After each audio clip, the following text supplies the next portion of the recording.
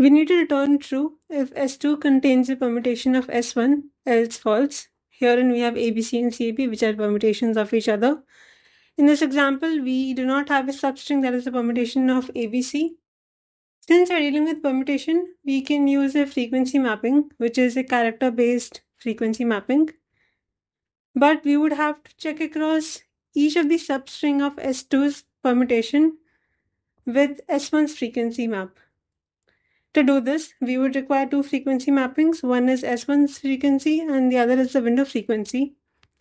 We fill up these frequency mapping up to the length of S1, check for equality. If at all it's not equal, we proceed with the next step, that is we go across filling it for the next set of window frequency.